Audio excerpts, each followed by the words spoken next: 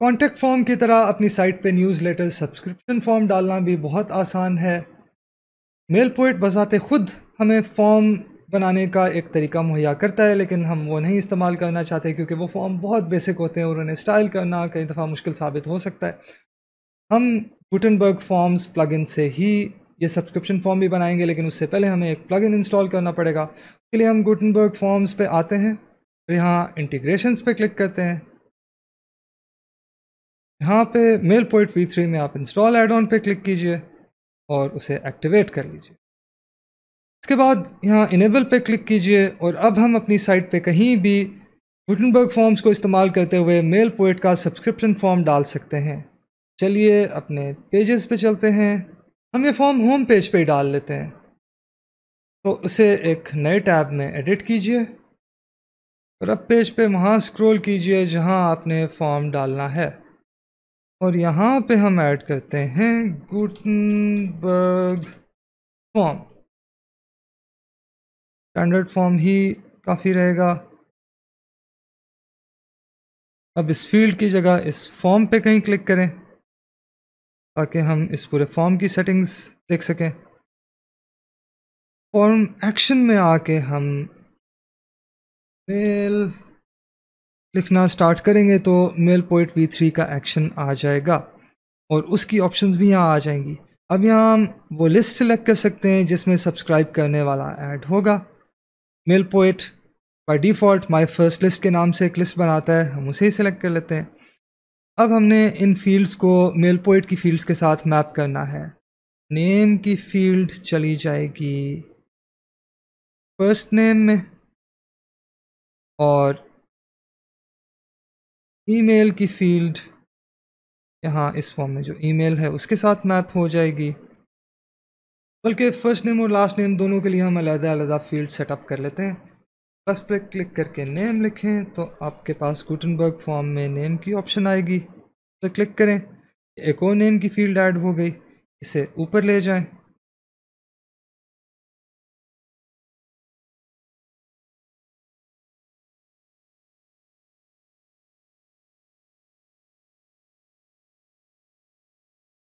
यहाँ नेम की जगह लास्ट नेम लिख दें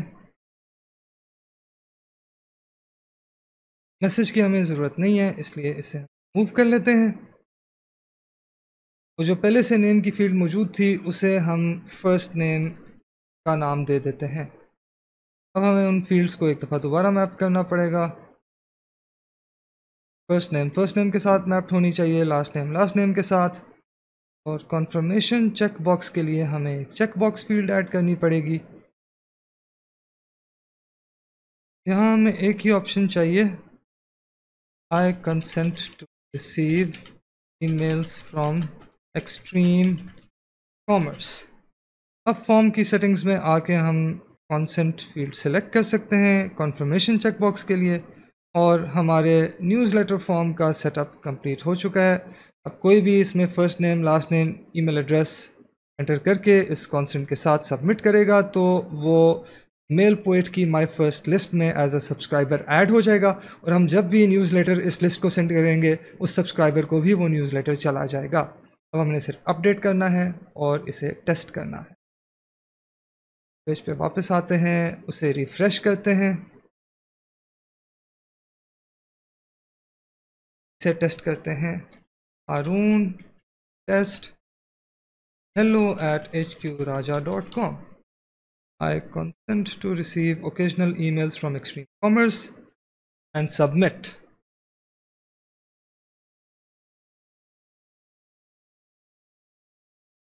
the form has been submitted successfully इस स्टाइलिंग को काफ़ी हद तक रिफ़ाइन किया जा सकता है, लेकिन अभी हमारा फोकस स्टाइलिंग की जगह फंक्शनैलिटी पे है। स्टाइलिंग को हम तब ज़्यादा डिटेल में देखेंगे जब हम फुल साइट्स बिल्ड करना शुरू करेंगे।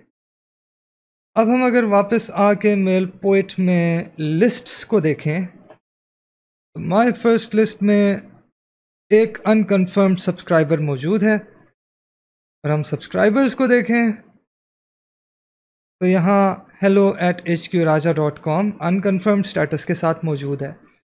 इस ईमेल एड्रेस पे एक मेल जा चुकी है, जिसमें कंफर्मेशन का लिंक है। जब उस लिंक को क्लिक किया जाएगा तो इसका स्टेटस कंफर्म हो जाएगा कि इसने अपना कंसेंट कम्प्लीटली दे दिया है और ये हमारी साइट से ईमेल रिसीव करने के लिए तैयार है।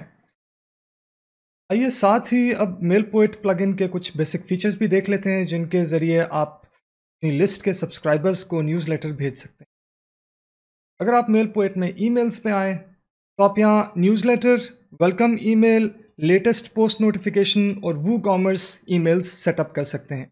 अभी हमने वू कॉमर्स इंस्टॉल नहीं किया, इस फीचर को जब हम ई कॉमर्स साइट सेटअप करेंगे, तब देखेंगे। फ़िलहाल हम न्यूज़लेटर वेलकम ईमेल और लेटेस्ट पोस्ट नोटिफिकेशन देख लेते हैं। एक न्यूज़लेटर भेजने के लिए आपने क्रिएट पे क्लिक करना है। यहाँ न्यूज़लेटर के कुछ टेम्पलेट्स मौजूद हैं, अगर आप उनमें से कोई इस्तेमाल करना चाहते हैं तो उस टेम्पलेट पे सिलेक्ट को क्लिक कर लें। अगर आप अपना नया टेम्पलेट या अपना नया ईमेल लेआउट खुद बनाना चाहते हैं तो यहाँ ऐड न्यू पे क्लिक करें। हम अभी एक टेम्पलेट सेलेक्ट कर लेते हैं। मैंने ये न्यूज़ डे टेम्पलेट सेलेक्ट कर लिया है।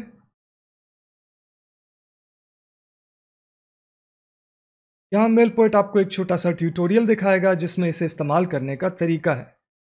हम क्लोज कर देते हैं। इस टेम्पलेट में आप देखेंगे कि ये ब्लॉक्स की मदद से बनाया गया है। और यहाँ आपको राइट साइड पे ब्लॉक्स दिखाई देंगे जो आप इस पूरे टेम्पलेट में कहीं भी ड्रैग और ड्रॉप कर सकते हैं। किसी भी ब्लॉक पे क्लिक करने पे आप उसमें मौजूद कंटेंट को तब्दील कर सकते हैं। आप अपनी मर्ज़ी की हेडिंग्स टाइप करें, अपनी मर्ज़ी का कंटेंट लिखें, ये जो रीड मोर लिंक है, इसे आप अपनी मर्ज़ी से तब्दील करें। यहाँ आखिर में सोशल लिंक्स मौजूद हैं और अनसब्सक्राइब लिंक्स वगैरह को मत छेड़िएगा। ये ईमेल्स में भेजना ज़रूरी है ख़ास तौर पे ऐसी ईमेल्स जो मार्केटिंग के लिए भेजे जाएँ, उनमें अनसब्सक्राइब लिंक का होना बहुत ज़रूरी अगर मैं आए सोशल ब्लॉग पे क्लिक करूँ तो इसकी ऑप्शंस आ जाएँगी, जहाँ आप अपना फेसबुक का लिंक ट्विटर का लिंक और दीगर सोशल मीडिया अकाउंट्स के लिंक डाल सकते हैं। कोई अगर आपको नहीं चाहिए तो उसे डाल सकते हैं और इस ब्लॉग का स्टाइल भी आप अपनी मर्ज़ी से सिलेक्ट कर सकते हैं। बाकी ब्लॉग्स को एडिट करना भी इतना ही आसान है।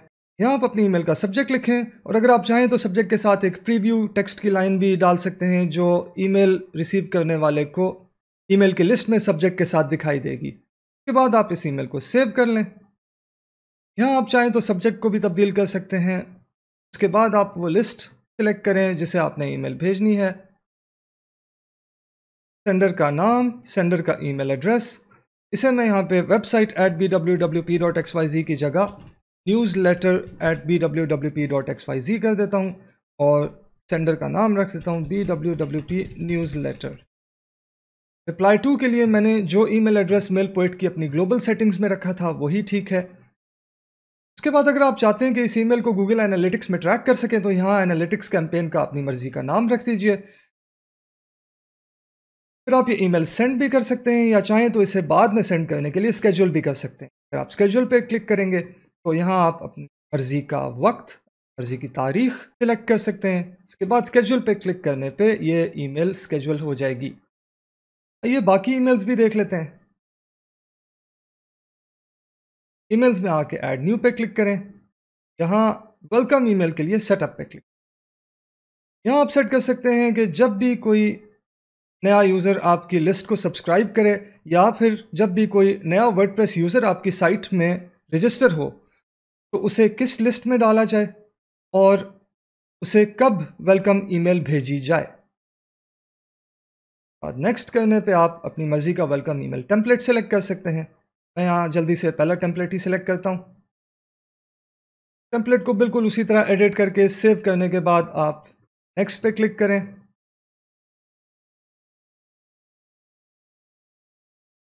उसी तरह से उसकी सारी सेटिंग्स तब्दील करें और एक्टिवेट कर दें।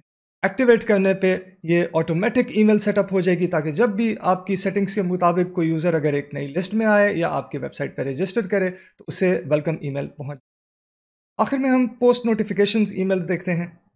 इसे सेटअप करने पे आप की फ्रीक्वेंसी यानी ये कब कब भेजी जाए, वो सिलेक्ट कर सकते हैं और भेजने का टाइम सिलेक्ट कर सकते हैं।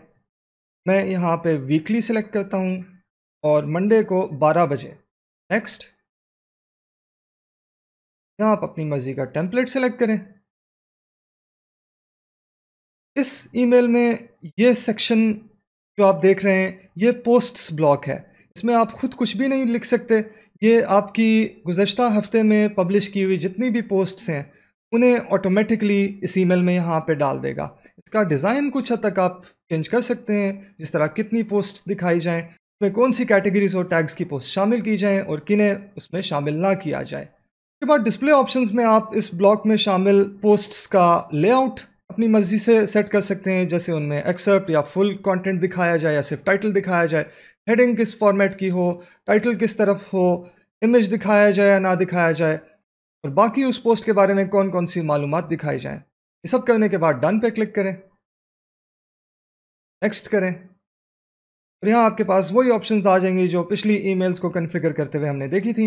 एक्टिवेट करने पे ये ऑटोमेटिक पोस्ट्स की ईमेल एक्टिव हो जाएगी। अब आपके सेट किए हुए स्केड्यूल के मुताबिक हफ़्ते में एक दफ़ा आपकी साइट की नई पोस्ट्स की एक अपडेट ईमेल आपके सब्सक्राइबर्स को ऑटोमेटिकली भेजी जाए ये था मेल पोइट का सेटअप अब अगले लेसन में हम मज़ीद एडवांस्ड फॉर्म्स को सेटअप करने का तरीका सीखते हैं।